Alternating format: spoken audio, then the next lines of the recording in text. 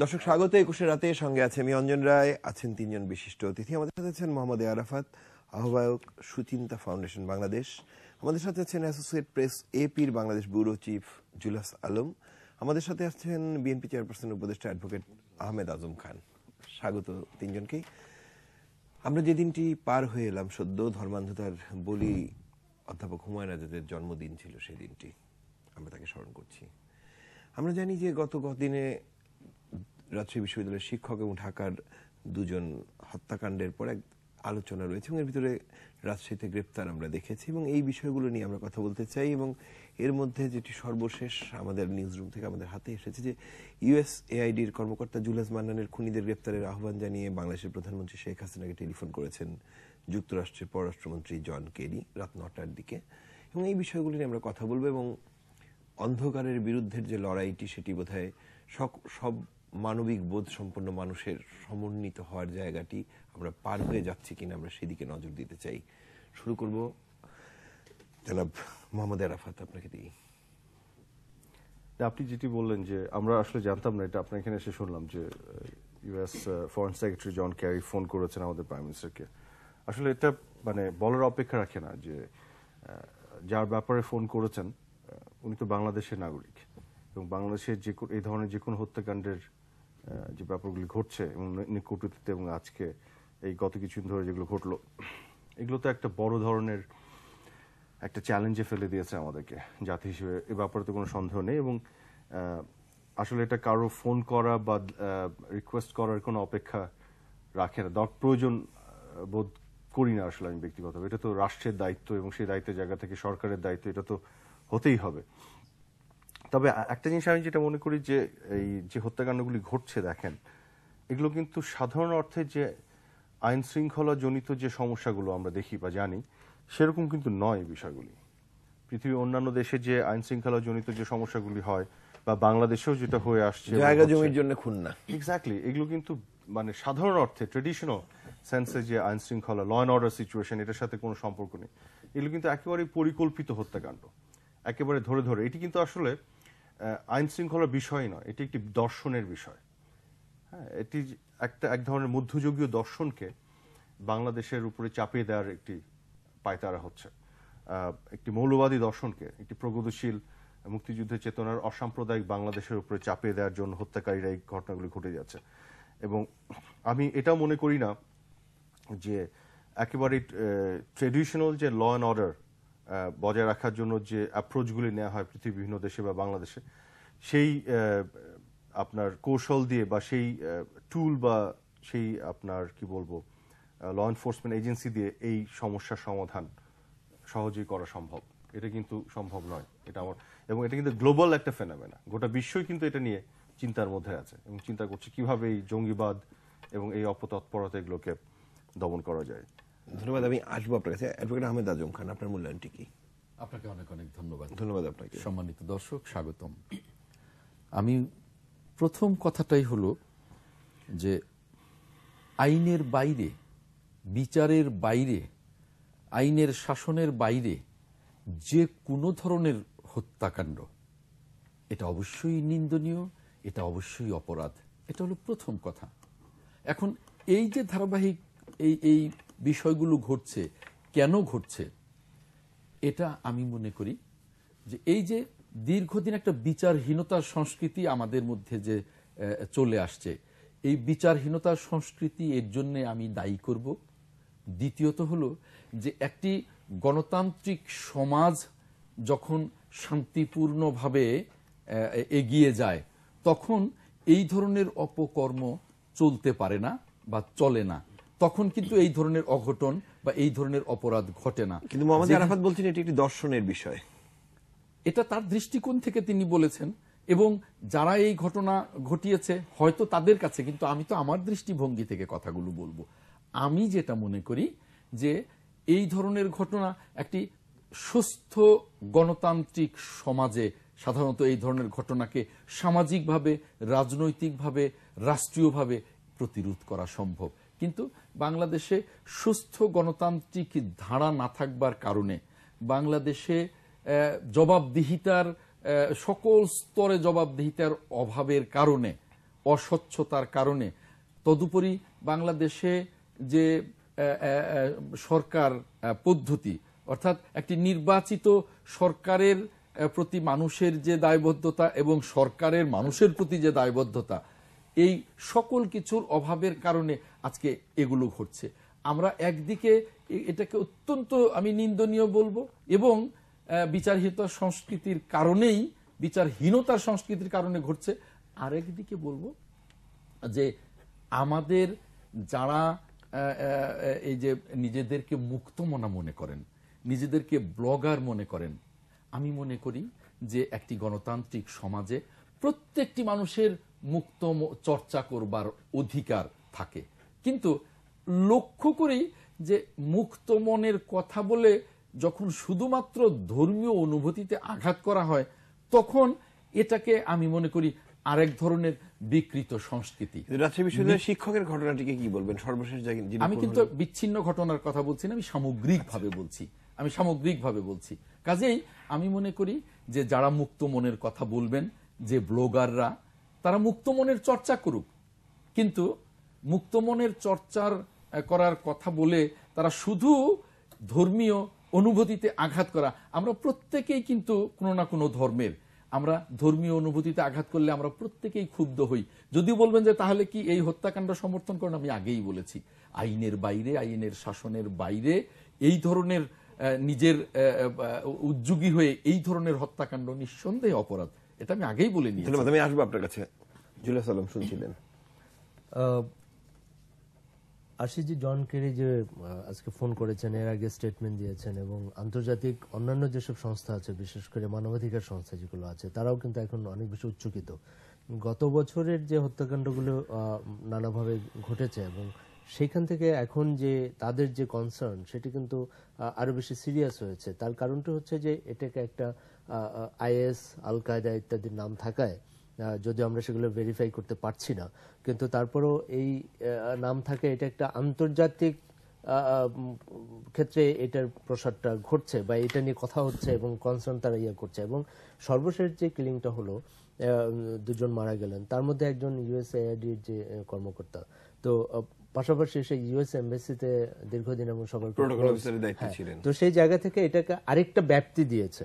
তো সেই জায়গা থেকে আমার মনে হয় যে এই আমাদের ঘটনাগুলো এখন যেহেতু এইভাবে ঘটেই যাচ্ছে আমরা নানা রকম বিতর্কে লিপ্ত হচ্ছে যে আইএস আছে কি নাই, তারপরে আল কায়দা এটা সত্যিকার অর্থে এখানে অপারেট করছে কি করছে না, বা লোকাল যেসব গ্রুপ আছে সেগুলো কতটুকু মানে তারা আসলে কানেক্টেড কিনা, সেই বিতর্ক তো চলবে, কিন্তু তার চেয়ে বড় কথা হলো আসলে এই ঘটনাগুলো ঘটছে। এবং যে ট্রেন্ড মনে হচ্ছে, তাতে মনে হচ্ছে ঘটনাগুলো আরও ঘটবে, সেটি মনে হচ্ছে। কারণ হচ্ছে যে, আপনি যদি টার্গেটগুলো দেখেন, এখন দেখেন যে লোনলি যারা, একা চলে, নিরস্ত্র, কোনো ধরনের তাদের কোনো এই দিকে যাওয়া হচ্ছে। তো সেই কারণে কখন কোথায় কে, কোথায় টার্গেটেড হবে, সেটা কিন্তু বলা যাচ্ছে না। কারণ হচ্ছে যে, এটার উদ্দেশ্যটা কি? যারাই করুন, তাদের উদ্দেশ্য হচ্ছে যে, এই দেশে এক ধরনের, এটাকে আমাদের যে দীর্ঘদিনের যে সাংস্কৃতিক, সামাজিক যে ঐতিহ্য এবং মোটামুটি ভাবে যে সহনশীলতা এবং পারস্পরিক বিশ্বাস এবং আস্থার মাধ্যমে যে চলা সেই জায়গাগুলোকে নষ্ট করে আমি মাঝখানে আরেকটি আন্তর্জাতিকভাবে আনতে চাই আপনার কাছে। যে ধরুন এবারেই কিন্তু আমরা যদি দেখি সোশ্যাল মিডিয়াতেও পহেলা বৈশাখ কেন্দ্র করে এক ধরনের বিতর্ক আমরা দেখেছি। যে পহেলা বৈশাখ পালন করা উচিত কি অনুচিত ইত্যাদি ইত্যাদি। অর্থাৎ বিভিন্ন জায়গায় কিন্তু এক ধরনের বিভাজন এবং এক ধরনের রেখা টেনে বিতর্ক তৈরি করার একটি প্রয়াসের জায়গা কি রয়েছে? এই এই এটি কিন্তু হঠাৎ করে হয়নি, কারণ আমি এখন থেকে বলতে পারি, গত বিএনপির আমলে, দুই এক থেকে দুই হাজার আমার স্পষ্ট মনে আছে, নারী নীতি নিয়ে একটা আন্দোলন হচ্ছিল প্রতি সেই শুক্রবারে একটা মিছিল হতো বড়, সেখানে অনেকগুলো ছোট ছোট গ্রুপ, আমি নিজেগুলো কাভার করেছি, এবং যারা এই এই বিভিন্ন গ্রুপে যারা আছেন, তাদের নেতৃত্বকে আমি ইন্টারভিউ করেছি, তখন তারা এক ধরনের কথা বলতেন, আমার এখনও মনে আছে উনি মারা গেছেন। ইসলামিক শাসনতন্ত্র আন্দোলনের একজন নেতা। উনি আমাকে বলেছিলেন যে দেখেন আহ, ঘটনাগুলো ঘটছে যে আমাদের আমরা যে চিন্তায় বিশ্বাস করি সেই চিন্তার মানুষগুলো তৈরি হচ্ছে। মানে তার পক্ষে বিপক্ষে সেই বিতর্কে যাচ্ছে না কিন্তু সেই চিন্তার মানুষগুলো তৈরি হচ্ছে নানা ফর্মে এবং তার সাথে কি হচ্ছে? দেশীয় জাতীয় যে রাজনীতির নানা রকম দুর্বলতা এবং তাদের যে পলিটিক্যাল সোশ্যালাইজেশনের যে প্রসেস যেভাবে আমরা এবং বিভিন্ন শিক্ষা, আমাদের সামাজিক বিভিন্ন উপাদান, এগুলোর সাথে মিলিয়ে এক ধরনের পলিটিক্যাল সোশ্যালাইজেশনের যে মুক্ত চিন্তা এবং একটু উদার মানসিকতার যে বেসিক যে স্ট্রাকচারটা ছিল, সেটি থেকে আমাদের একটু প্যারাডাইম শিফট হয়েছে। সেটা আমাদেরকে স্বীকার করতে হবে। সেই তার সাথে ক্যাম্পেইনটা এখন আরও বেশি গোছানো। কারণ হচ্ছে যে একটা ফোর্সের প্রত্যেকটা ফোর্স বা রাজনৈতিক শক্তি তারা অবশ্যই চিন্তা করে যে রাষ্ট্র ক্ষমতায় যেতে চায়, নানা ফর্মে এখন দেখেন, এটি আমাদের দেশের জন্য যেমন সত্যি, ভারতের জন্য তেমন সত্যি, পাকিস্তানের জন্য সেরকম সত্যি। তো যার জন্য হয়েছে যে ধর্মকে একটা উপজীব্য করে সেটাকে আরও বেশি মাঠের মাঠ পর্যায়ে নিয়ে যাওয়া এবং সেটাকে কার্যকরী একটা প্রক্রিয়ার মাধ্যমে নিয়ে গিয়ে এবং যেহেতু বিশ্ব বাস্তবতা এক ধরনের ট্রেন্ড আছে এক ধরনের ট্রেন্ড আছে সেটার ছায়া এখানে পড়েছে। সো সবকিছু মিলে এটা কিন্তু একটা পলিটিক্যাল ওরিয়েন্টেশন এটার মধ্যে আছে। সো এটাকে সামনে আরও নতুন করে বিতর্ক হবে এগুলো নিয়ে আরও সফট টার্গেটের দিকে আমি যাচ্ছি মোহাম্মদ। আরাফাত। যে বিষয়টিকে সামনে আনলেন বিএনপি নেতা অ্যাডভোকেট আহমেদ আজম খান বিচারহীনতা সংস্কৃতি। এখন দেখুন একটা জিনিস হচ্ছে বিচারহীনতা সংস্কৃতি এটা আমি ওনার বক্তব্য। হ্যাঁ, এটা আমি এগ্রি করি না।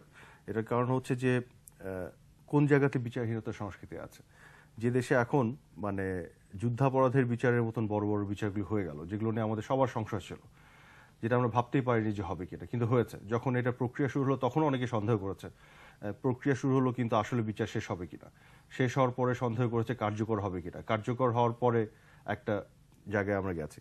আর ভেরি রিসেন্টলি আপনি দেখেন, অনেকগুলি ঘটনা ঘটেছে। যেমন ধরেন, এই যে শিশু হত্যার যে ঘটনাগুলি, রাকিব রাজনের যে ঘটনা, এটা এটা তো বিচার হয়েছে এত অল্প, স্বল্প সময়ের মধ্যে। তারপরে আপনার ইভেন ব্লগারদের ক্ষেত্রে দেখেন, রাজীব রাজীব হায়দারের এটার কিন্তু বিচার প্রক্রিয়া এটা শুধু আপনার তদন্ত শেষ হয়েছে গ্রেফতার হয়েছে চার্জশিট দিয়েছে রায়ও পর্যন্ত হয়ে গেছে। তো এটা তো বিচারহীন সংস্কৃতির এক্সাম্পল পড়ে না। অন্যান্য ব্লগারদের ক্ষেত্রেও দেখেন অনেকের ক্ষেত্রে কিন্তু আপনার আসামিদের গ্রেফতার করা হয়েছে তদন্ত কারও কারও ক্ষেত্রে হচ্ছে কারও ক্ষেত্রে তদন্ত শেষ হয়েছে এবং প্রক্রিয়ার মধ্যে আছে কিন্তু। বিদেশি নাগরিকদের ব্যাপারে যে ঘটনাগুলি ঘটলো সেখানেও কিন্তু একটা প্রক্রিয়ার মধ্যে আমরা আছি। কিন্তু এটাকে বিচারহীন সংস্কৃতি বলব না? আপনি একটা জিনিস যেটা বলতে পারেন হ্যাঁ বাংলাদেশের বাস্তবতায় বিচার প্রক্রিয়াগুলি একটু আমরা যত তড়িৎ গতিতে চাই, সেই তড়িৎ গতিতে আমরা পাই না। একটু দেরি হয়। আর দেরি হওয়ার ব্যাপারটা একটা বাস্তবতা। যেমন একটা এক্সাম্পল আপনাকে দিই, যে ঢাকা শহরের জনসংখ্যা আপনার অলমোস্ট দুই কোটি। হ্যাঁ অস্ট্রেলিয়ার জনসংখ্যাটা সমান এন্টায়ার অস্ট্রেলিয়ার পপুলেশনের সমান। এখন গোটা অস্ট্রেলিয়াতে যে বিচার বিভাগ যতগুলি আছে, যত জাজ আছে লয়ার আছে, তাদের যে সাপোর্ট আছে, তাহলে তো শুধু ঢাকা শহরে সেটা থাকা দরকার ছিল। কিন্তু সেটা কি আছে সেটা তো নাই। মানে এখন আপনার বিচারের যে চাহিদাটা, ষোলো কোটি মানুষ দেশে, ছোট্ট একটি দেশে। বিভিন্ন জায়গায় যে সমস্যাগুলি তৈরি হচ্ছে, যেখানে বিচারের যে চাহিদাটা, সেই তুলনায় সাপ্লাইয়ের যে জায়গাটা যদি আপনি দেখেন, তৃতীয় বিষয়ে এদেশে এই পরিমাণ তো আদালত, এই পরিমাণ জজ এবং আপনার উকিল বা এগুলো তো আমাদের নাই। যে কারণে আমাদের ডিলে হয়। পাশ্চাত্যে যেটা অনেক তাড়াতাড়ি হয় আমাদের সেই জায়গাটি হচ্ছে, এটা বাস্তবতার জায়গাটা আমাদের মানতে হবে। কাজে বিচারহীনতা সংস্কৃতি এটা একেবারে আমি মানছি না। ডিলে হওয়ার একটা বাস্তব কারণ আছে এদেশে দ্বিতীয় জিনিসটা হচ্ছে যে, আরেকটি যেটা আজম ভাই বললেন বা বিএনপি দিক থেকে বলা হয়, আমাদের সুশীল সমাজে অনেকে বলার চেষ্টা করেন, এবং এটা এই ধরনের একটা বিদেশি একটি প্রচারণা আছে, যে এখানে স্পেস নাই বাংলাদেশে বা পলিটিক্যাল ডেমোক্রেসির অভাবে এইসব ঘটনাগুলি ঘটছে। সেটা আমি এগ্রি করি না। আপনি তাহলে আমাকে বলেন যে ব্রাসেলসে বা প্যারিসে ওখানে কি ডেমোক্রেসি নাই? আমি যদি ধরেও নিই তর্কের ক্ষেত্রে বাংলাদেশে ধরেন একটা আনকন্টেস্টেড ইলেকশন হলো, এখানে ধরেন ডেমোক্রেটিক স্পেস নাই। তো আপনার ব্রাসেলসে কেন বারে বারে এই ঘটনা ঘটছে? প্যারিসে কেন ঘটছে? ওখানে কি বিচারহীনতার সংস্কৃতি আছে? তাহলে কেন ঘটছে? এই জঙ্গিবাদী বিষয়গুলোকে কিন্তু আমাদের ট্রু সেন্সে আইডেন্টিফাই করতে হবে কেন হচ্ছে? বরং আমি তো মনে করি বাংলাদেশে এই জঙ্গিবাদীরা যেটা অতীতে করেছিল ম্যাস অ্যাটাক করে তারা। ব্রাসেলসে প্যারিসে যে কাজটি করেছে, সেই কাজগুলি বাংলাদেশে করতে তারা ব্যর্থ হচ্ছে বিকজ গভর্নমেন্টের rather zero tolerance against militancy তার এগেনস্টে তার জিরো টলারেন্স নীতি এবং তার যে দক্ষতার ফলে। এই কারণে বরং তারা এখন অনেক সহজ টার্গেট খুঁজছে। তারা কিন্তু ইন্ডিভিজুয়ালকে অ্যাটাক করছে, যেটা পৃথিবীর যে কোনো গভর্নমেন্টের জন্য খুবই ডিফিকাল্ট প্রোটেকশন দেয়। হ্যাঁ সেই কাজগুলি কিন্তু তারা করছে। এখন এই এই জায়গাতে আপনাকে দেখতে হবে যে বিষয়টি কীভাবে হচ্ছে। আরেকটি যে দেখেন, এটা পলিটিক্সটা আপনি খেয়াল করেন। এটা কিন্তু মানে আমি যেটা দেখি, যে আপনাকে যেটা বললাম, দর্শনের ব্যাপার। এখানে কিন্তু একটা বড় গ্রুপ কিন্তু তাদের পারপাস আলাদা। একেবারে জঙ্গিবাদী যে গ্রুপটা আপনি ধরেন ষোলো কোটি বাংলাদেশের মানুষ, এর মধ্যে যদি এক পার্সেন্ট মানুষ মৌলবাদী হয়, তার সংখ্যা কত দাঁড়ায়? ষোলো লক্ষ। সেই ষোলো লক্ষ মানুষের মধ্যে যদি এক পার্সেন্ট জঙ্গি হয়, যে রাস্তায় নেমে আপনাকে খুন করবে, তার সংখ্যা ষোলো হাজার দাঁড়ায় এই ষোলো হাজার জঙ্গি যদি থাকে, তাহলে তো যে কোনো একটা দেশের গভর্নমেন্টের জন্য মাথা ব্যথার কারণ হয়ে দাঁড়াবে। এবং তারা যদি ইন্ডিভিজুয়াল লেভেল অ্যাটাক তো এই বাস্তবতা আপনাকে দেখতে হবে না। আমি ছোট্ট করে শেষ করে দিই, দেখেন, যে বড় যে একটা মুক্তিযুদ্ধ চেতনা বিরোধী সাম্প্রদায়িক যে গোষ্ঠীটা, এরা যদি সত্যিকার অর্থে আপনার ধর্মীয় কারণে করত হ্যাঁ যে নাস্তিক যদি করতো, তাহলে তো আমি তো কখনো দেখি নাই, ফারাদ মাজার কখনো টার্গেটেড হয়েছে। আমি তো কখনো দেখিনি ইভেন শফিক রহমান সাহেব আজকে গ্রেফতার হলেন একটা ফৌজদারি মামলায়। ওনাকে তো নাস্তিকতাবাদের কারণে টার্গেট হতে হয়নি। অথচ মুন্তাসির মামুনের মতন মানুষ পাঁচ অক্ট নামাজ পড়ে, উনি নাকি নাস্তিক, জঙ্গিবাদের টার্গেট মৌলানা ফারুকি ওনাকে তো মেরেই ফেলল, একজন মৌলানাকে কাজে এরা কিন্তু আসলে, এটা কিন্তু নাস্তিকতাবাদ এবং ধর্মীয় ব্যাপার না, এটা কিন্তু পলিটিক্স যারা, যাদের মধ্যে প্রগতিশীলতা আছে, সাম্প্রদায়িকতার বিরোধী অবস্থান আছে, তারাই টার্গেটের হচ্ছে কিন্তু। ধন্যবাদ। অ্যাডভোকেট আহমেদ আজম খান, ব্রাসেলস বা প্যারিসে বাংলাদেশের মতো নির্বাচনের রেফারেন্স দিয়েছেন মোহাম্মদ আরাফাত, এবং সেই বিষয়ে আপনার কি ব্যাখ্যা? ব্রাসেলস এবং প্যারিস কিন্তু উন্নত রাষ্ট্রগুলোর মধ্যে দুটো রাষ্ট্র, ইউরোপিয়ান ইউনিয়নের ভেতরে। তো আরাফাত যেটা বলেছে যে আমাদের সরকারের জিরো টলারেন্সের কারণে এখানে পারছে না। ব্রাসেলস এবং প্যারিসের মতো উন্নত রাষ্ট্র, সেই সরকারের কি জঙ্গিবাদের বিরুদ্ধে জিরো টলারেন্স নেই? এটা কি কেউ বিশ্বাস করবে? এটা কেউ বিশ্বাস করবে না। আবার আপনি দেখেন যে এই ঘটনাগুলো কিন্তু জাপানে ঘটছে না। এই ঘটনাগুলো কিন্তু ভারতে ঘটছে না। এখন ব্রাসেলস এবং ফ্রান্সের কোন আন্তর্জাতিক মেরুকরণের কারণে বা কোন মেকানিজমের কারণে কি কারণে ঘটছে সেটা আরও আহ, পরে নিশ্চয়ই বোঝা যাবে। রাজনৈতিক বিশ্লেষকরা নিশ্চয়ই এটা বলবেন। তবে আমি এটা বলব যে বাংলাদেশের চেয়েও ফ্রান্স এবং ব্রাসেলসে তাদের জঙ্গিবাদের বিরুদ্ধে আরও বেশি জিরো জিরো টলারেন্স আছে। এতে কোনো সন্দেহ নেই। এখন সেখানকার পরিস্থিতি কোন কারণে এটা হয়েছে? এই এই যে আরাফাত একটা কথা বলেছে যে জঙ্গিবাদ আর এইখানের ওই যে বলেছে যে এটা তাদের একটা ইডোলজির কথা বলেছে। এখন এই জঙ্গিবাদ যেটা, অর্থাৎ আইএস এর কথা বলা হয়, এই আইএস নিয়ে কিন্তু নানান রকমের গবেষণা হচ্ছে যে আইএস কারা, কাদের তৈরি।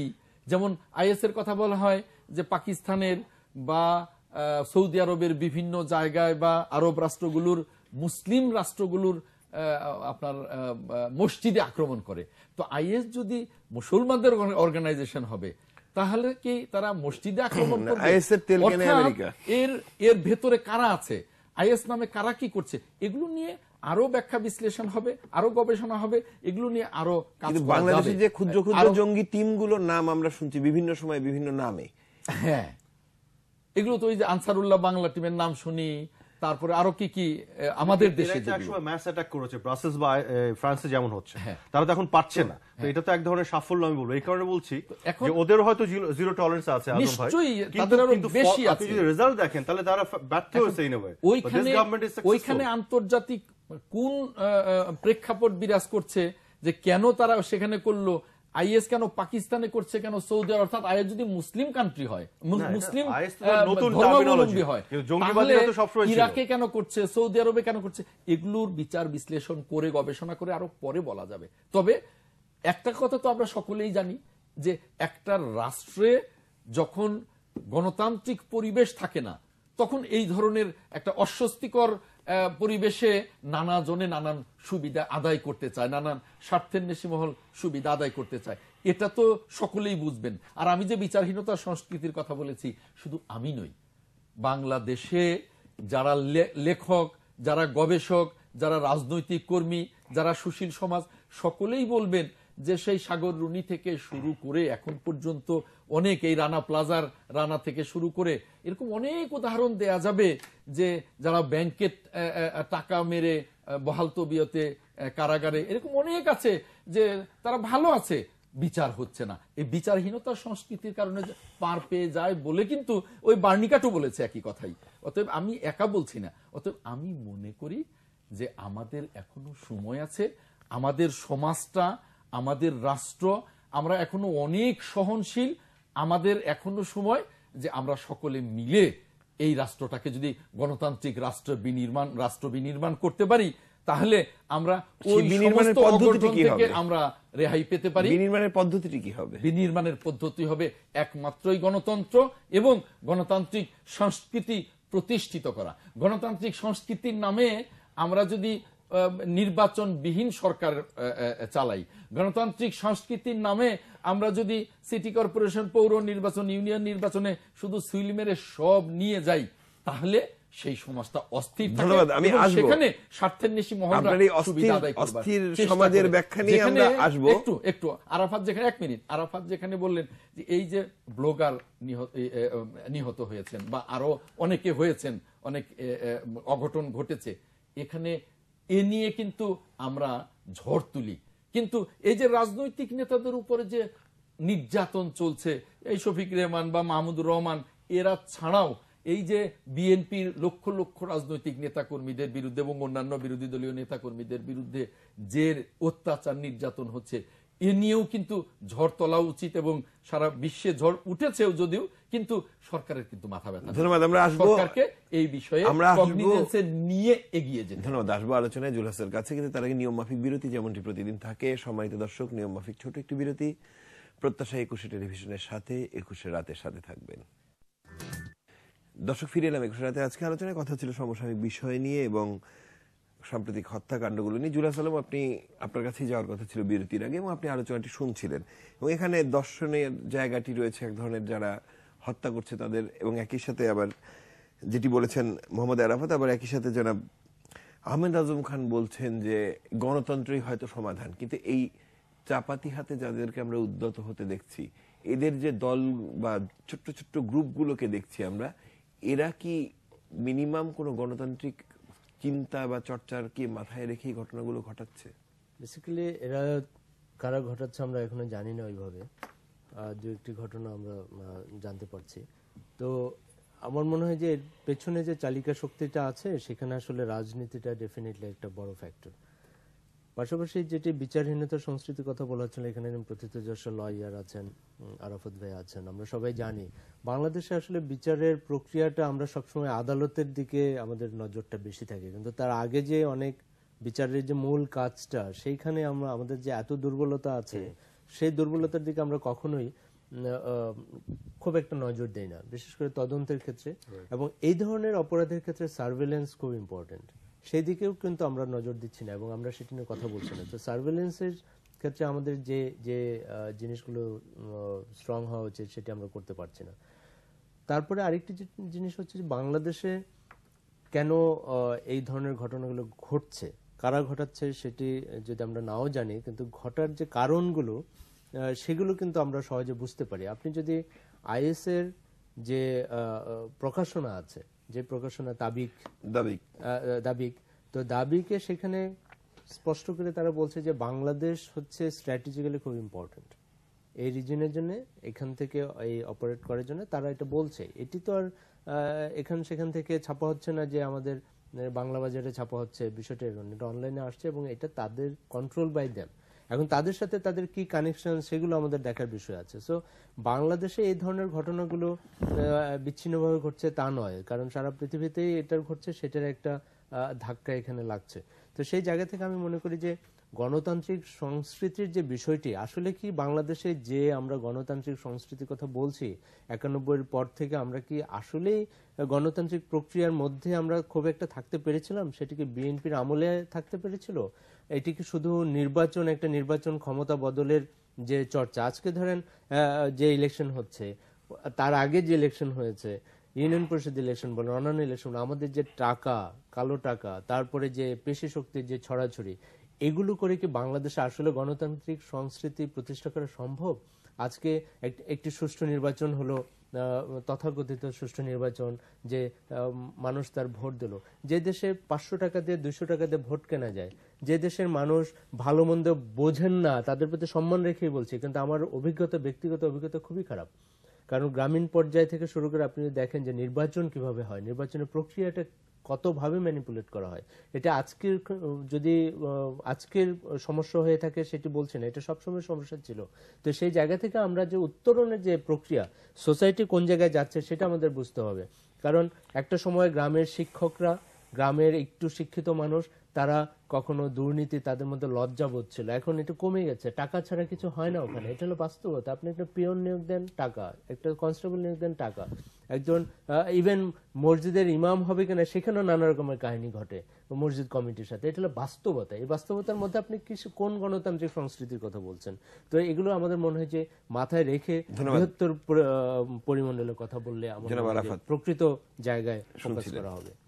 আপনি নোটও নিচ্ছিলেন না আমাদের না গ্রাসরুটে আমাদের যে প্রবলেমগুলি আছে, সেগুলো তো আছেই সত্যিকার অর্থে। এবং এটা আমাদের একটা কালচারাল প্রবলেম এটা সাংস্কৃতিক মানে প্রবলেম এটা আমাদের মজ্জাগত কিছু সমস্যা আছে। এখন ওই সংস্কৃতির পরিবর্তন কিন্তু অনেক সময় লাগে ধীরে ধীরে চেঞ্জ করতে। তবে এটা আপনার একটা সিস্টেম ডেভেলপ করে ইনস্টিটিউশনগুলোকে যেগুলো ডেমোক্রেটিক ইনস্টিটিউশনগুলোকে আরও স্ট্রেনদেন করে, এটা করতে হবে। অনেক সমস্যা আছে, কোনো সন্দেহ নেই। তবে আমি যদি আবার ফিরে যাই আপনার মূল জায়গাতে, যে আপনার সন্ত্রাস এবং জঙ্গিবাদী যে বিষয়গুলি এখানে আমি এটাকে যেভাবে দেখি, যে একটি গোষ্ঠী বাংলাদেশে যারা ধরেন অসাম্প্রদায়িক রাজনীতিকে ধারণ করে, প্রগতিশীল রাজনীতিকে ধারণ করে, এই মানুষগুলো কিন্তু টার্গেটেড হচ্ছে। এবং যারা অসাম্প্রদায়িক আপনার মৌলবাদ বিরোধী অবস্থান যাদের, তারা যদি পাঁচ ওয়াক্ত নামাজ করা মুসলমান হয় ইভেন মৌলানাও যদি হয়, তাও তারা টার্গেটেড হচ্ছে।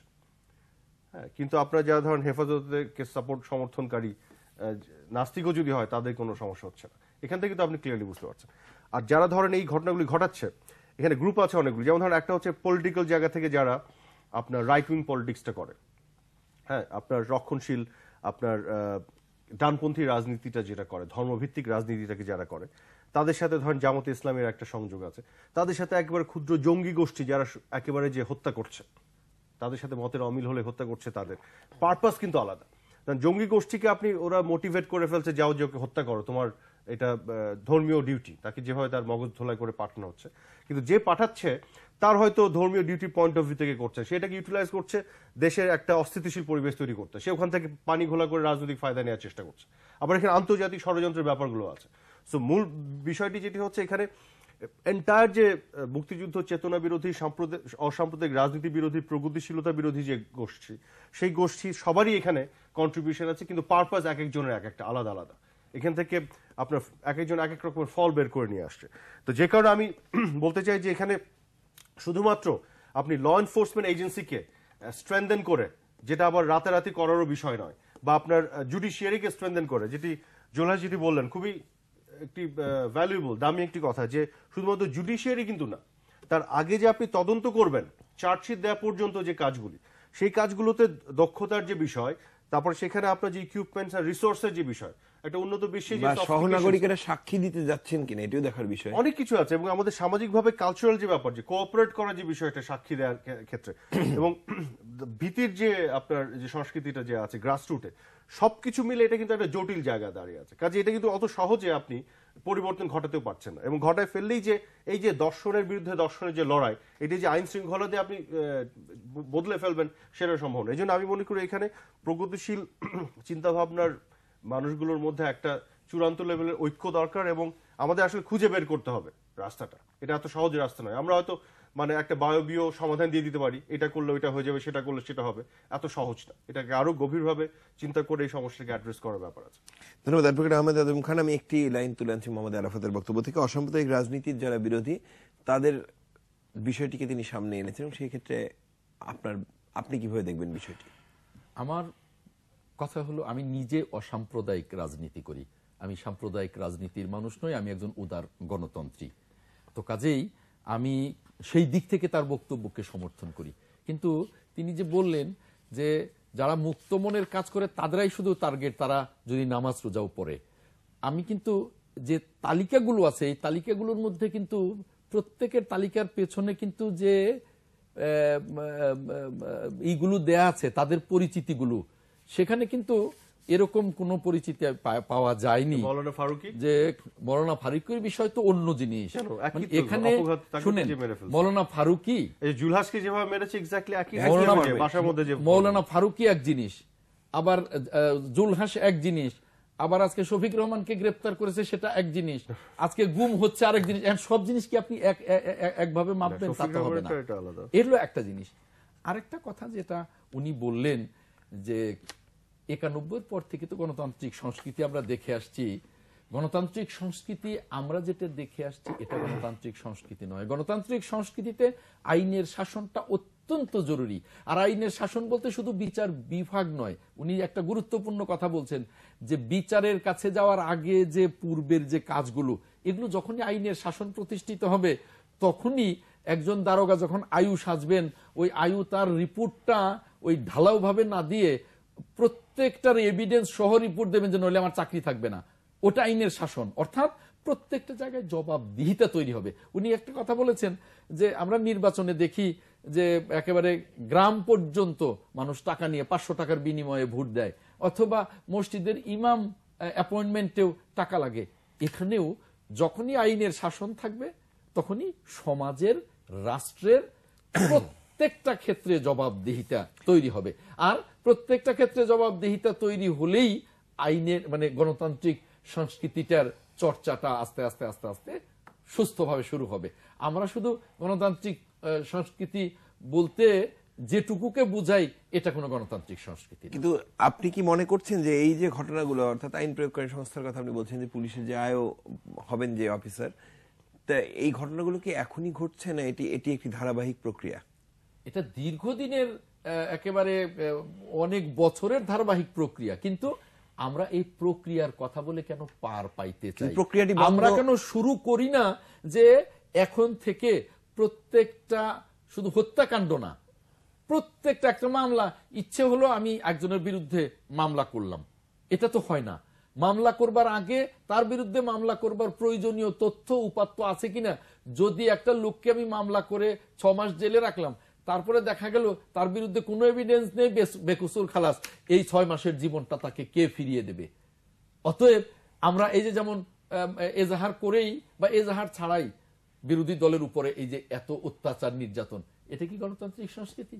কাজেই গণতান্ত্রিক সংস্কৃতি একেবারে আইনের শাসন দ্বারা এমন ভাবে সম্পৃক্ত যে আপনি আইনের শাসন প্রতিষ্ঠিত না হলে গণতান্ত্রিক সংস্কৃতি এগুবে না রাজনৈতিক ঐক্যমত্য ছাড়া আবার গণতান্ত্রিক সংস্কৃতি এগুবে না সবকিছুর মধ্যে আপনার জবাবদিহিতা থাকতে হবে সব জায়গাতে আমাদের যে অস্থিরতা এই অস্থির জায়গাগুলোকে আমরা যদি সকলে ঐক্যমত্যের ভিত্তিতে জাতীয় ঐক্যমত্য তৈরি হতে হবে আজকে দেখেন জাতীয় ঐক্যমত্য আমেরিকা- হবে কার উপরে? কিসের উপর দাঁড়িয়ে? আমেরিকা আজকে গণতান্ত্রিক সরকার।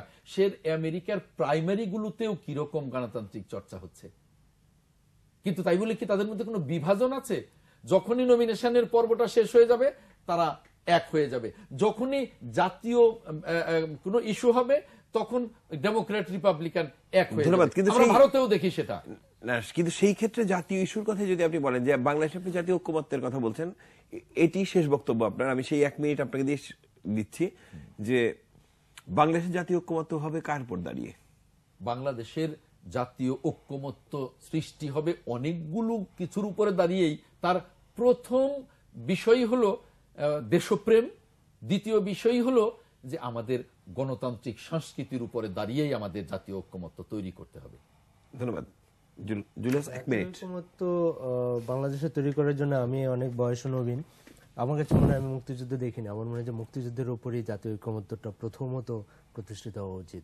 কিন্তু সেটি নিয়ে আমাদের খুবই দুর্ভাগ্য। এই প্রজন্মের হয়ে আমি খুবই দুঃখের সঙ্গে লক্ষ্য করি যে মুক্তিযুদ্ধ নিয়ে যত খেলাধুলা হয়েছে এবং হচ্ছে, সেটি সেই বিষয়গুলি মীমাংসা না করে সত্যিকার অর্থে আমরা, আমাদের সামনে আর জাতীয় এমন কোনো স্পিরিট নাই যে ওইটাকে বাদ দিয়ে সেটার দিকে গিয়ে আমরা জাতীয় ঐকমত্যের জায়গাটি প্ল্যাটফর্মটি তৈরি করতে পারি। ধন্যবাদ আমি সেকেন্ড আমি ওনার কথায় সমর্থন করে বলছি উনি একটু ব্যাকে চলে গেছেন।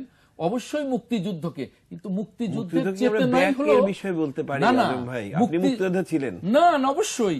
আমি ওখানে এই জন্যই যাইনি যে মুক্তিযুদ্ধের চেতনাই হলো গণতন্ত্র এবং আইনের শাসন। অসাম্প্রদায়িক বাংলাদেশ।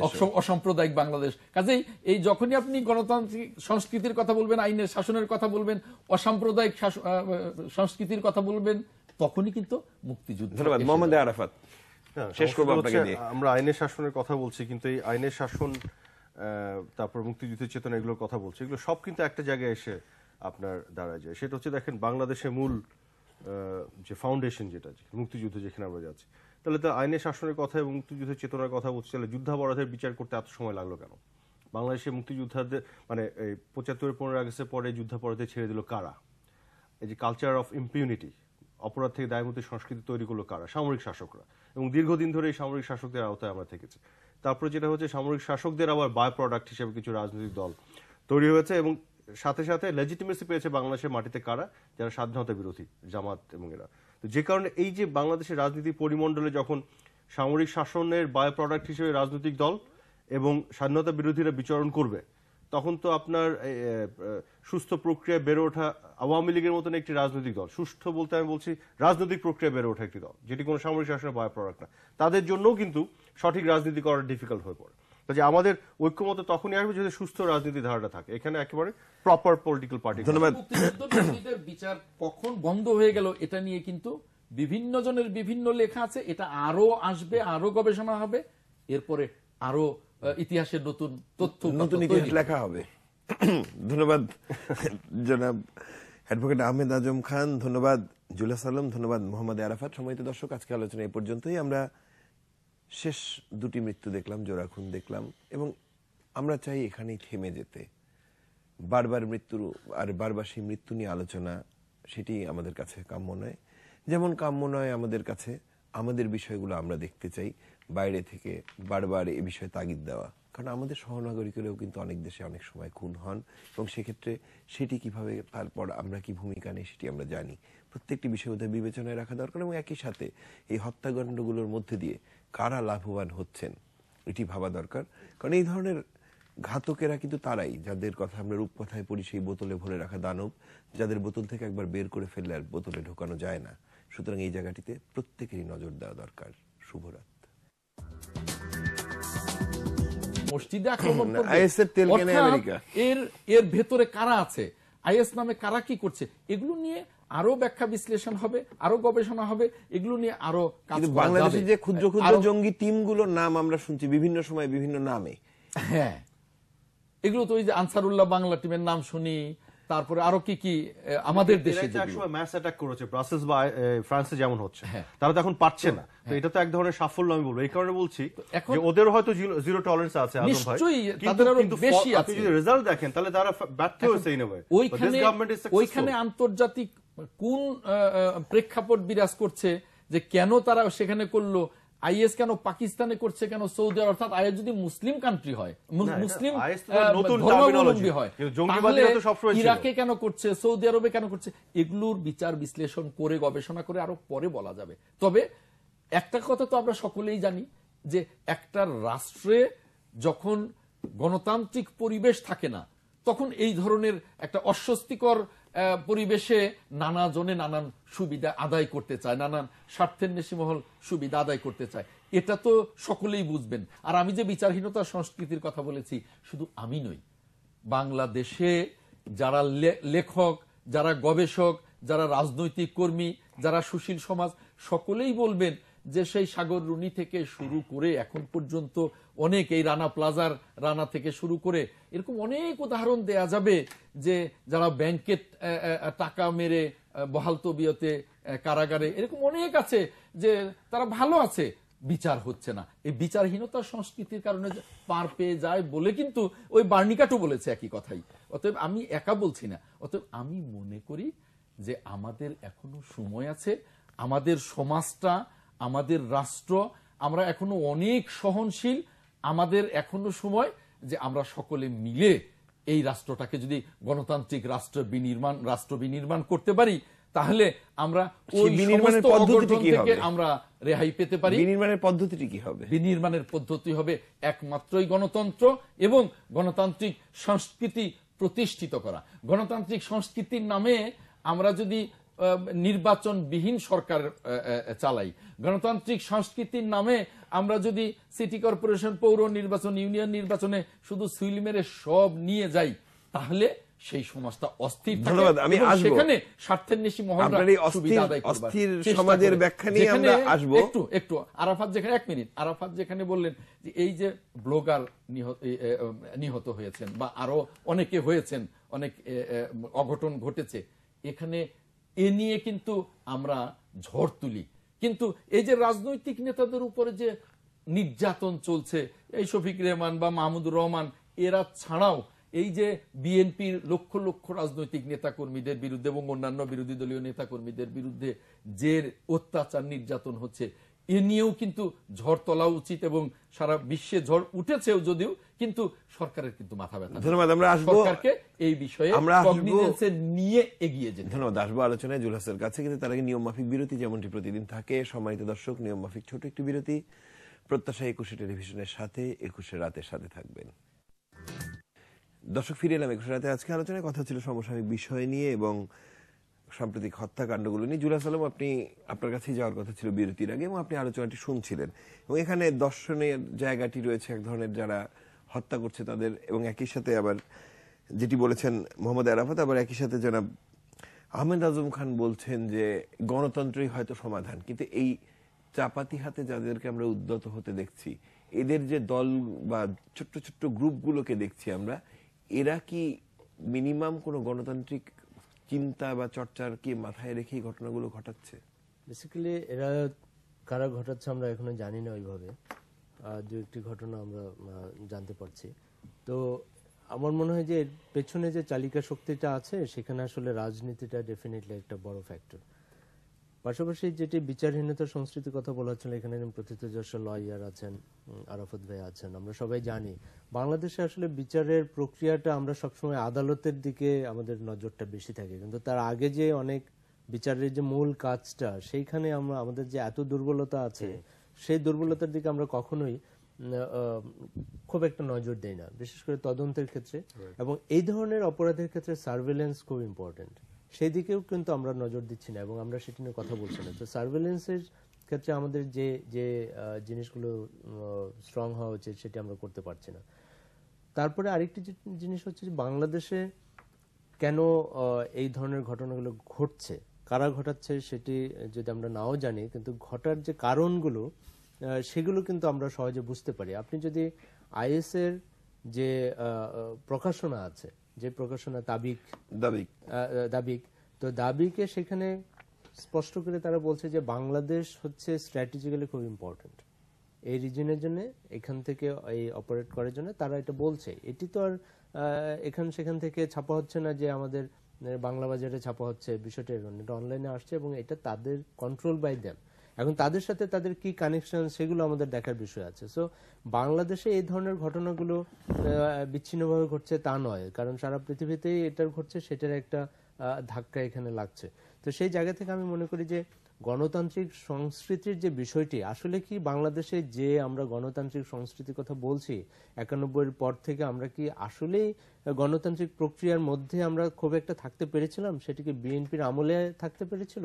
এটি কি শুধু নির্বাচন, একটা নির্বাচন ক্ষমতা বদলের যে চর্চা, আজকে ধরেন যে ইলেকশন হচ্ছে, তার আগে যে ইলেকশন হয়েছে, ইউনিয়ন পরিষদ ইলেকশন বলেন অন্যান্য ইলেকশন আমাদের যে টাকা, কালো টাকা, তারপরে যে পেশি শক্তির যে ছড়াছড়ি, এগুলো করে কি বাংলাদেশে আসলে গণতান্ত্রিক সংস্কৃতি প্রতিষ্ঠা করা সম্ভব?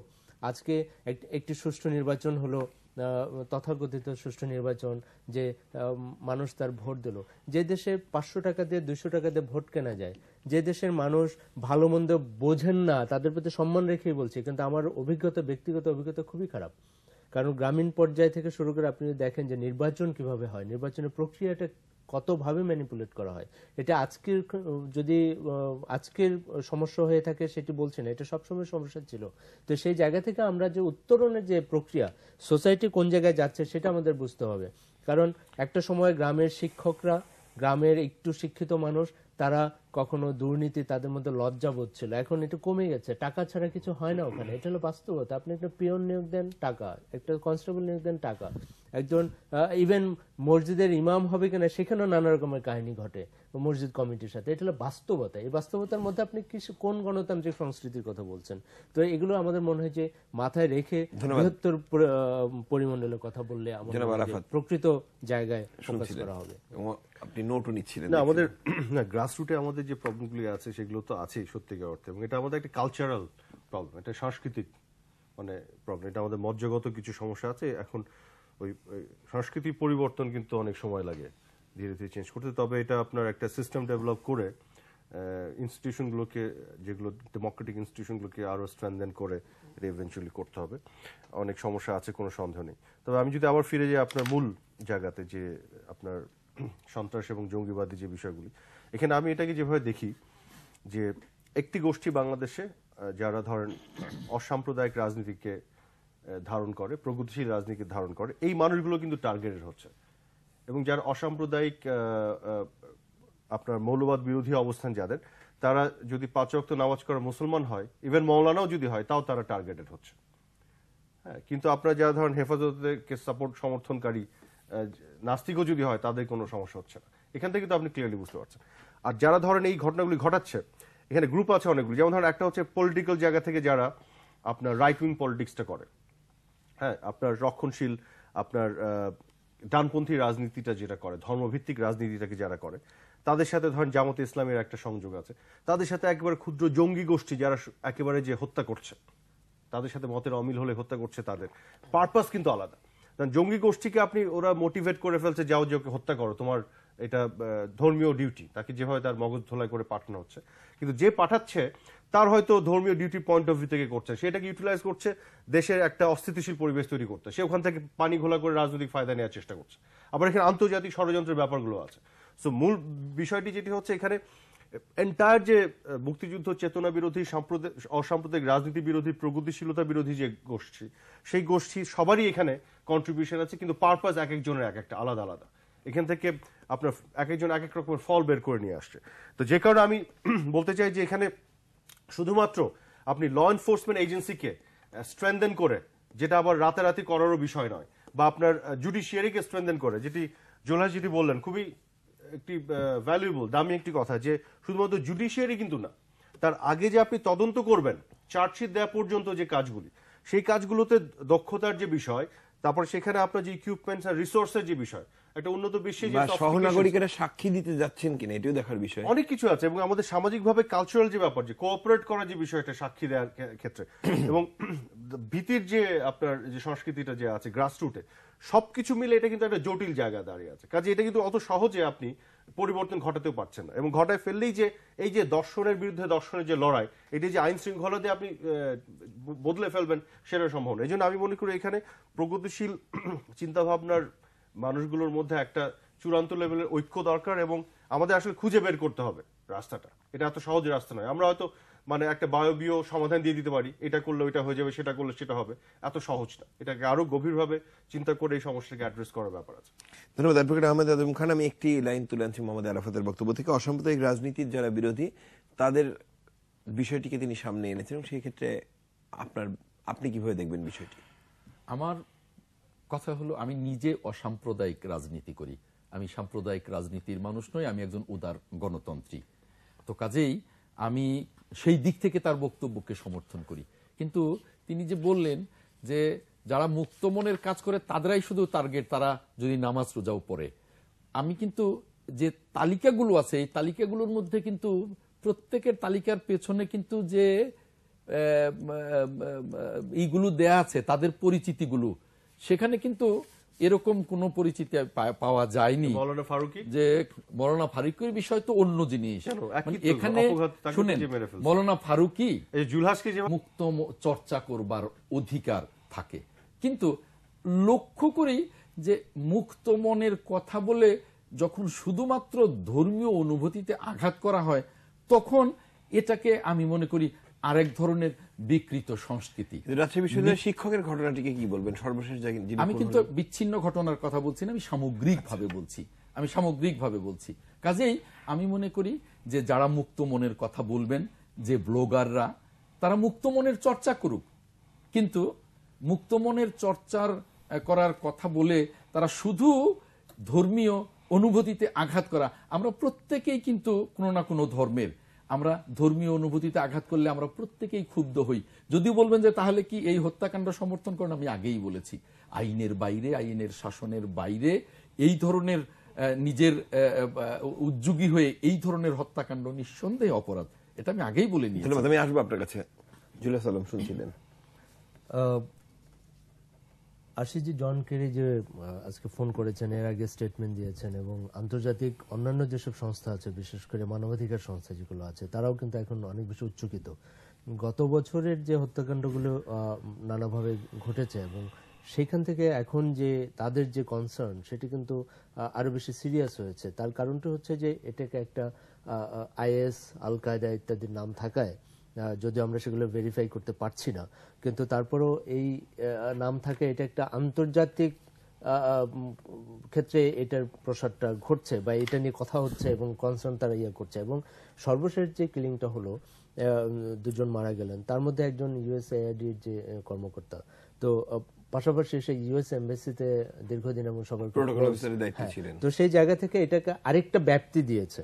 তো সেই জায়গা থেকে আমার মনে হয় যে এই আমাদের ঘটনাগুলো এখন যেহেতু আহ, এইভাবে ঘটেই যাচ্ছে আমরা নানা রকম বিতর্কে লিপ্ত হচ্ছে যে আইএস আছে কি নাই তারপরে আল কায়দা এটা সত্যিকার অর্থে এখানে অপারেট করছে কি করছে না বা লোকাল যেসব গ্রুপ আছে সেগুলো কতটুকু মানে তারা আসলে কানেক্টেড কিনা সেই বিতর্ক তো চলবে কিন্তু তার চেয়ে বড় কথা হলো আসলে এই ঘটনাগুলো ঘটছে এবং যে ট্রেন মনে হচ্ছে তাতে মনে হচ্ছে এই ঘটনাগুলো আরও ঘটবে।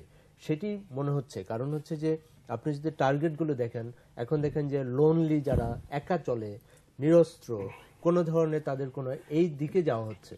তো সেই কারণে কখন কোথায় কে কোথায় টার্গেটেড হবে, সেটা কিন্তু বলা যাচ্ছে না। কারণ হচ্ছে যে, এটার উদ্দেশ্যটা কি? যারাই করুন, তাদের উদ্দেশ্য হচ্ছে যে, এই দেশে এক ধরনের এটাকে আমাদের যে দীর্ঘদিনের যে সাংস্কৃতিক, সামাজিক যে ঐতিহ্য এবং মোটামুটি ভাবে যে সহনশীলতা এবং পারস্পরিক বিশ্বাস এবং আস্থার মাধ্যমে যে চলা সেই জায়গাগুলোকে নষ্ট করা আমি মাঝখানে আন্তর্জাতিকভাবে আনতে চাই আপনার কাছে যে ধরুন এবারেই কিন্তু আমরা যদি দেখি সোশ্যাল মিডিয়াতেও পহেলা বৈশাখ কেন্দ্র করে এক ধরনের বিতর্ক আমরা দেখেছি। যে পহেলা বৈশাখ পালন করা উচিত কি অনুচিত ইত্যাদি ইত্যাদি। অর্থাৎ বিভিন্ন জায়গায় কিন্তু এক ধরনের বিভাজন এবং এক ধরনের রেখা টেনে বিতর্ক তৈরি করার একটি প্রয়াসের জায়গা কি রয়েছে? এই এই, এটি কিন্তু হঠাৎ করে হয়নি, কারণ আমি এখন থেকে বলতে পারি, গত বিএনপির আমলে, দুই হাজার এক থেকে দু হাজার ছয়ে আমার স্পষ্ট মনে আছে, নারী নীতি নিয়ে একটা আন্দোলন হচ্ছিল। প্রতি সেই শুক্রবারে একটা মিছিল হতো বড়।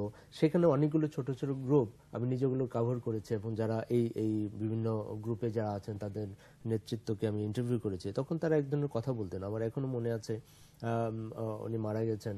ইসলামিক শাসনতন্ত্র আন্দোলনের একজন নেতা। উনি আমাকে বলেছিলেন যে দেখেন আহ, ঘটনাগুলো ঘটছে যে আমাদের আমরা যে চিন্তায় বিশ্বাস করি সেই চিন্তার মানুষগুলো তৈরি হচ্ছে। মানে তার পক্ষে বিপক্ষে সেই বিতর্কে যাচ্ছে না, কিন্তু সেই চিন্তার মানুষগুলো তৈরি হচ্ছে নানা ফর্মে এবং তার সাথে কি হচ্ছে? দেশীয়, জাতীয় যে রাজনীতির নানা রকম দুর্বলতা এবং তাদের যে পলিটিক্যাল সোশ্যালাইজেশনের যে প্রসেস যেভাবে আমরা এবং বিভিন্ন শিক্ষা, আমাদের সামাজিক বিভিন্ন উপাদান, এগুলোর সাথে মিলিয়ে এক ধরনের পলিটিক্যাল সোশ্যালাইজেশনের যে মুক্ত চিন্তা এবং একটু উদার মানসিকতার যে বেসিক যে স্ট্রাকচারটা ছিল, সেটি থেকে আমাদের একটু প্যারাডাইম শিফট হয়েছে। সেটা আমাদেরকে স্বীকার করতে হবে। সেই তার সাথে ক্যাম্পেইনটা এখন আরও বেশি গোছানো। কারণ হচ্ছে যে, একটা ফোর্সের প্রত্যেকটা ফোর্স বা রাজনৈতিক শক্তি তারা অবশ্যই চিন্তা করে যে রাষ্ট্র ক্ষমতায় যেতে চায়, নানা ফর্মে এখন দেখেন, এটি আমাদের দেশের জন্য যেমন সত্যি, ভারতের জন্য তেমন সত্যি, পাকিস্তানের জন্য সেরকম সত্যি। তো যার জন্য হয়েছে যে ধর্মকে একটা উপজীব্য করে সেটাকে আরও বেশি মাঠের মাঠ পর্যায়ে নিয়ে যাওয়া এবং সেটাকে কার্যকরী একটা প্রক্রিয়ার মাধ্যমে নিয়ে গিয়ে এবং যেহেতু বিশ্ব বাস্তবতায় এক ধরনের ট্রেন্ড আছে এক ধরনের ট্রেন্ড আছে সেটার ছায়া এখানে পড়েছে সো সবকিছু মিলে এটা কিন্তু একটা পলিটিক্যাল ওরিয়েন্টেশন এটার মধ্যে আছে। সো এটাকে সামনে আরও নতুন করে বিতর্ক হবে এগুলো নিয়ে আরও সফট টার্গেটের দিকে আমি যাচ্ছি মোহাম্মদ। আরাফাত। যে বিষয়টিকে সামনে আনলেন বিএনপি নেতা অ্যাডভোকেট আহমেদ আজম খান বিচারহীনতা সংস্কৃতি। এখন দেখুন একটা জিনিস হচ্ছে বিচারহীনতা সংস্কৃতি এটা আমি ওনার। বক্তব্য হ্যাঁ, এটা আমি এগ্রি করি না। এটার কারণ হচ্ছে যে কোন জায়গাতে বিচারহীনতা সংস্কৃতি আছে? যে দেশে এখন মানে যুদ্ধাপরাধের বিচারের মতন বড় বড় বিচারগুলো হয়ে গেল যেগুলো নিয়ে আমাদের সবার সংশয় ছিল যেটা আমরা ভাবতেই পারিনি যে হবে কিনা কিন্তু হয়েছে। যখন এটা প্রক্রিয়া শুরু হলো তখন অনেকে সন্দেহ করেছে প্রক্রিয়া শুরু হলো কিন্তু আসলে বিচার শেষ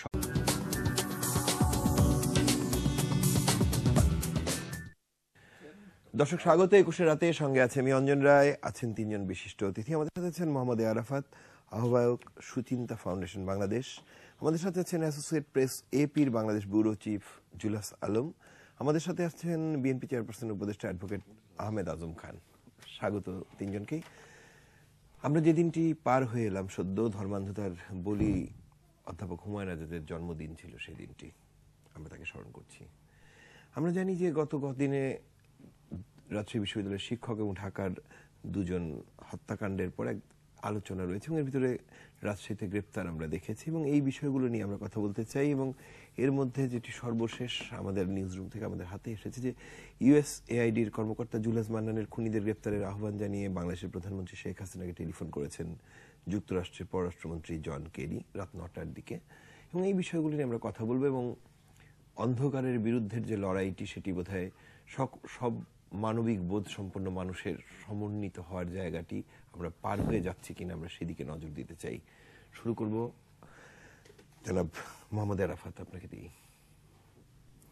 আপনি যেটি বললেন যে আমরা আসলে জানতাম না, এটা আপনার এখানে এসে শুনলাম যে US foreign secretary John Kerry phone করেছেন আমাদের প্রাইম মিনিস্টারকে আসলে এটা মানে বলার অপেক্ষা রাখে না যে যার ব্যাপারে ফোন করেছেন উনি তো বাংলাদেশের নাগরিক এবং বাংলাদেশের যে এই ধরনের যে কোনো হত্যাকাণ্ডের যে ব্যাপারগুলি ঘটছে এবং নিকটতিতে এবং আজকে এই গত কিছুদিন ধরে যেগুলো ঘটলো, এগুলো তো একটা বড় ধরনের একটা চ্যালেঞ্জে ফেলে দিয়েছে আমাদেরকে, জাতি হিসেবে। এ ব্যাপারে তো কোনো সন্দেহ নেই এবং আসলে এটা কারও ফোন করা বা রিকোয়েস্ট করার কোনো অপেক্ষা রাখে না। দর প্রয়োজন বোধ করি না আসলে আমি ব্যক্তিগতভাবে। এটা তো রাষ্ট্রের দায়িত্ব এবং সেই দায়িত্বের জায়গা থেকে সরকারের দায়িত্ব, এটা তো হতেই হবে। তবে একটা জিনিস আমি যেটা মনে করি যে এই যে হত্যাকাণ্ডগুলি ঘটছে দেখেন এগুলো কিন্তু সাধারণ অর্থে যে আইন শৃঙ্খলা জনিত যে সমস্যাগুলো আমরা দেখি বা জানি সেরকম কিন্তু নয় বিষয়গুলি। পৃথিবীর অন্যান্য দেশে যে আইন শৃঙ্খলা জনিত যে সমস্যাগুলি হয় বা বাংলাদেশেও যেটা হয়ে আসছে জায়গা জমির জন্য খুন না এক্স্যাক্টলি এগুলো কিন্তু মানে সাধারণ অর্থে ট্রেডিশনাল সেন্সে যে আইন শৃঙ্খলা ল অ্যান্ড অর্ডার সিচুয়েশন এটার সাথে কোনো সম্পর্ক নেই। এগুলো কিন্তু একেবারেই পরিকল্পিত হত্যাকাণ্ড।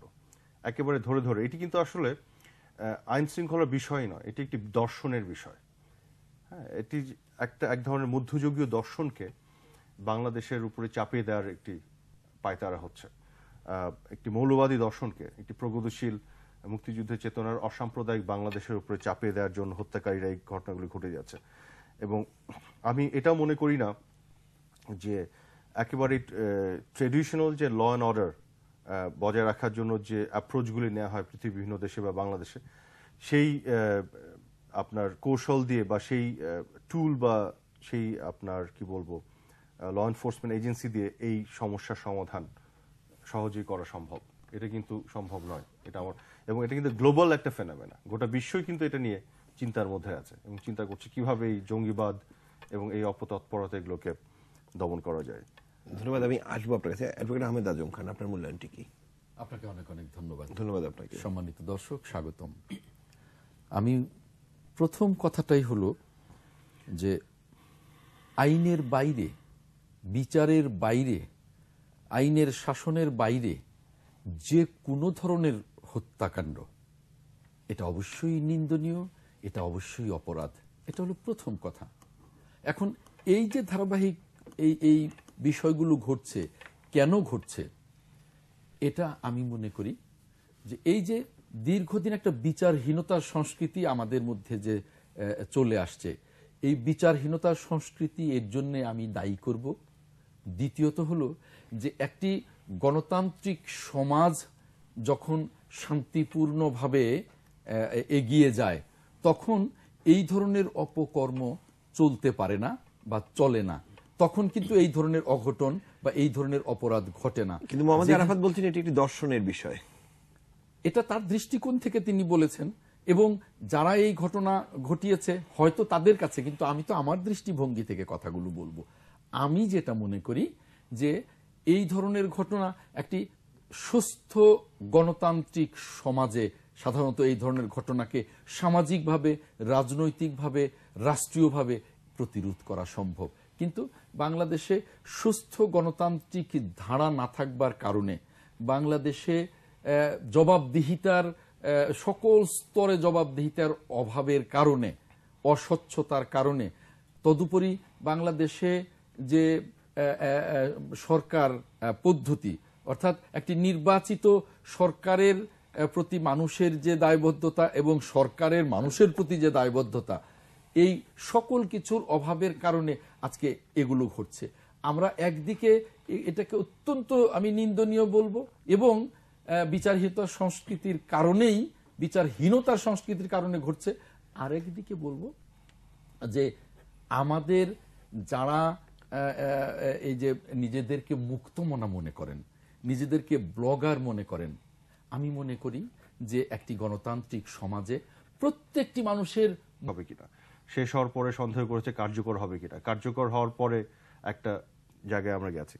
আর ভেরি রিসেন্টলি আপনি দেখেন, অনেকগুলি ঘটনা ঘটেছে। যেমন ধরেন, এই যে শিশু হত্যার যে ঘটনাগুলি, রাকিব রাজনের যে ঘটনা, এটা এটা তো বিচার হয়েছে এত অল্প, স্বল্প সময়ের মধ্যে। তারপরে আপনার ইভেন ব্লগারদের ক্ষেত্রে দেখেন, রাজীব রাজীব হায়দারের এটার কিন্তু বিচার প্রক্রিয়া এটা শুধু আপনার তদন্ত শেষ হয়েছে গ্রেফতার হয়েছে চার্জশিট দিয়েছে রায়ও পর্যন্ত হয়ে গেছে। তো এটা তো বিচারহীন সংস্কৃতির এক্সাম্পল পড়ে না।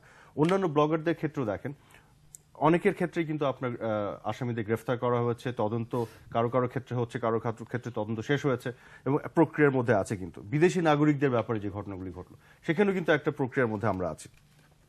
কিন্তু এটাকে বিচারহীন সংস্কৃতি বলব না। আপনি একটা জিনিস যেটা বলতে পারেন হ্যাঁ বাংলাদেশের বাস্তবতায় বিচার প্রক্রিয়াগুলি একটু আমরা যত তড়িৎ গতিতে চাই, সেই তড়িৎ গতিতে আমরা পাই না। একটু দেরি হয়। আর দেরি হওয়ার ব্যাপারটা একটা বাস্তবতা। যেমন একটা এক্সাম্পল আপনাকে দিই, যে ঢাকা শহরের জনসংখ্যা আপনার অলমোস্ট দুই কোটি। হ্যাঁ? অস্ট্রেলিয়ার জনসংখ্যার সমান এন্টায়ার অস্ট্রেলিয়ার পপুলেশনের সমান। এখন গোটা অস্ট্রেলিয়াতে যে বিচার বিভাগ যতগুলি আছে, যত জাজ আছে লয়ার আছে, তাদের যে সাপোর্ট আছে, তাহলে তো শুধু ঢাকা শহরে সেটা থাকা দরকার ছিল। কিন্তু সেটা কি আছে সেটা তো নাই। মানে এখন আপনার বিচারের যে চাহিদাটা, ষোলো কোটি মানুষ দেশে, ছোট্ট একটি দেশে। বিভিন্ন জায়গায় যে সমস্যাগুলি তৈরি হচ্ছে, যেখানে বিচারের যে চাহিদাটা, সেই তুলনায় সাপ্লাইয়ের যে জায়গাটা যদি আপনি দেখেন, তৃতীয় বিষয়ে এদেশে এই পরিমাণ তো আদালত, এই পরিমাণ জজ এবং আপনার উকিল বা এগুলো তো আমাদের নাই। যে কারণে আমাদের ডিলে হয়। পাশ্চাত্যে যেটা অনেক তাড়াতাড়ি হয় আমাদের সেই জায়গাটি হচ্ছে, এটা বাস্তবতার জায়গাটা আমাদের মানতে হবে।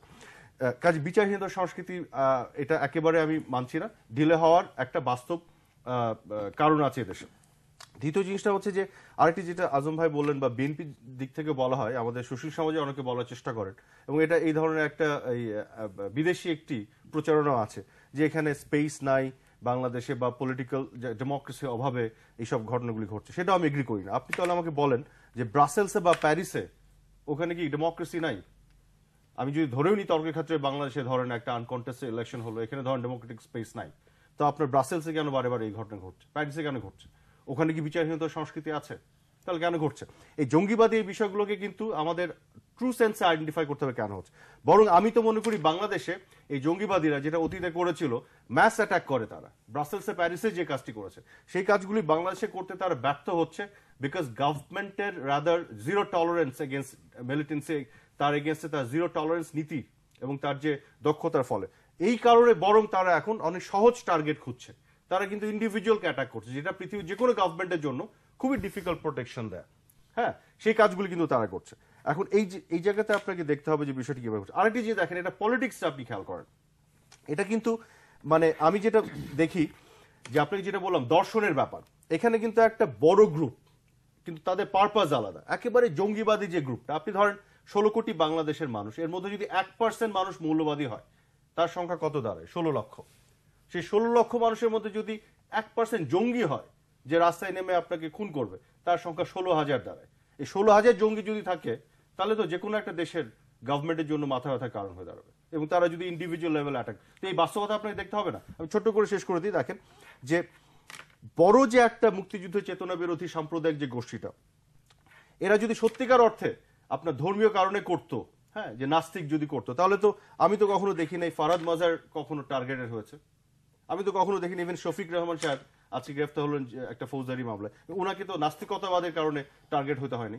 অথচ মুন্তাসির মামুনের মতন মানুষ পাঁচ অক্ত নামাজ পড়ে, উনি নাকি নাস্তিক, জঙ্গিবাদের টার্গেট মৌলানা ফারুকি ওনাকে তো মেরেই ফেলল, একজন মৌলানাকে কাজে এরা কিন্তু আসলে, এটা কিন্তু নাস্তিকতাবাদ এবং ধর্মীয় ব্যাপার না, এটা কিন্তু পলিটিক্স যারা, যাদের মধ্যে প্রগতিশীলতা আছে, সাম্প্রদায়িকতার বিরোধী অবস্থান আছে, তারাই টার্গেটেড হচ্ছে কিন্তু। ধন্যবাদ। অ্যাডভোকেট আহমেদ আজম খান, ব্রাসেলস বা প্যারিসে বাংলাদেশের মতো নির্বাচনের রেফারেন্স দিয়েছেন মোহাম্মদ আরাফাত, এবং সেই বিষয়ে আপনার কি ব্যাখ্যা? ব্রাসেলস এবং প্যারিস কিন্তু উন্নত রাষ্ট্রগুলোর মধ্যে দুটো রাষ্ট্র, ইউরোপিয়ান ইউনিয়নের ভেতরে। তো আরাফাত যেটা বলেছে যে আমাদের সরকারের জিরো টলারেন্সের কারণে এখানে পারছে না। ব্রাসেলস এবং প্যারিসের মতো উন্নত রাষ্ট্র, সেই সরকারের কি জঙ্গিবাদের বিরুদ্ধে জিরো টলারেন্স নেই? এটা কি কেউ বিশ্বাস করবে? এটা কেউ বিশ্বাস করবে না। আবার আপনি দেখেন যে এই ঘটনাগুলো কিন্তু জাপানে ঘটছে না। এই ঘটনাগুলো কিন্তু ভারতে ঘটছে না। এখন ব্রাসেলস এবং ফ্রান্সের কোন আন্তর্জাতিক মেরুকরণের কারণে বা কোন মেকানিজমের কারণে কি কারণে ঘটছে সেটা আরও আহ, পরে নিশ্চয়ই বোঝা যাবে। রাজনৈতিক বিশ্লেষকরা নিশ্চয়ই এটা বলবেন। তবে আমি এটা বলব যে বাংলাদেশের চেয়েও ফ্রান্স এবং ব্রাসেলসে তাদের জঙ্গিবাদের বিরুদ্ধে আরও বেশি জিরো জিরো টলারেন্স আছে। এতে কোনো সন্দেহ নেই। এখন সেখানকার পরিস্থিতি কোন কারণে এটা হয়েছে? এই এই যে আরাফাত একটা কথা বলেছে যে জঙ্গিবাদ আর এইখানের ওই যে বলেছে যে এটা তাদের একটা ইডোলজির কথা বলেছে। এখন এই জঙ্গিবাদ যেটা, অর্থাৎ আইএস এর কথা বলা হয়, এই আইএস নিয়ে কিন্তু নানান রকমের গবেষণা হচ্ছে যে আইএস কারা, কাদের তৈরি যেমন আইএসের কথা বলা হয় যে পাকিস্তানের বা সৌদি আরবের বিভিন্ন জায়গায় বা আরব রাষ্ট্রগুলোর, মুসলিম রাষ্ট্রগুলোর আপনার মসজিদে আক্রমণ করে। তো আইএস যদি মুসলমানদের অর্গানাইজেশন হবে, তাহলে কি তারা